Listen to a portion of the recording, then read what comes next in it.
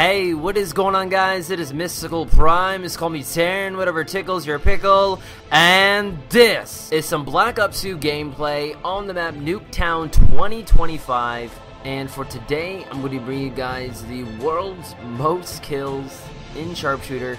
It is 59 kills on Nuketown 2025.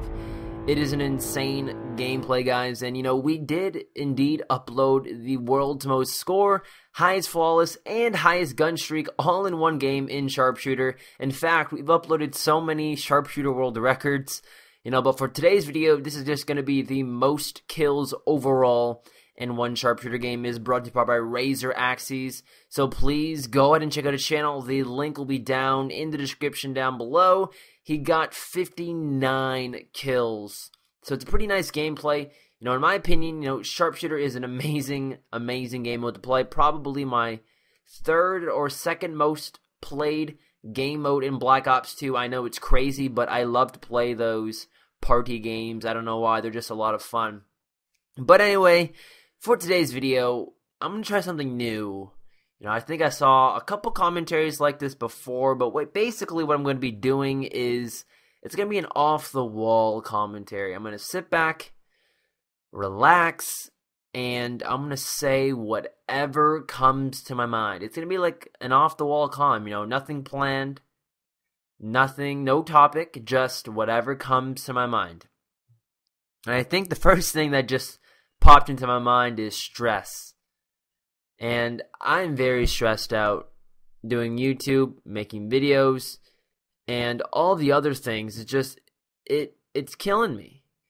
You know, uploading every day is it's not easy, but it, it's a blast to do. I love to challenge myself. And you know, when you put yourself to a challenge and you overcome overcome challenges, it just motivates me for some reason. It motivates me to keep going. It motivates me to put even more challenges in front of me. That way, when I overcome them, I feel good, and you know, I feel like I've actually accomplished something. So that's one thing to touch upon. You know, another thing is that I have so much work. I'm actually going to be going to the zoo. That's another cool fact I can share with you guys. On Tuesday, I'm going to be going to the Toronto Zoo, probably one of the biggest zoos in North America. I'm going there for a biology trip. You know, we're supposed to take pictures of animals and make a couple videos. And I'm probably going to make a day in the life at the Toronto Zoo. But the only problem I have is when I actually get to the zoo, I have to make sure I'm confident enough to actually record myself in front of people, in front of public people. Like, I don't mind doing it in front of my friends. I honestly don't care. But doing it in front of other people that have no idea what the hell I'm doing, they're probably going to stare at me and be like, oh my god, this guy is so weird. So, I don't know how I'm going to do that, but you know, if you guys want to go ahead and check out my channel, I will be uploading that day in the life on Tuesday. I mark my words. Well, I, want, I don't want to mark my words, but I'm going to try. You know, confidence is a big issue here.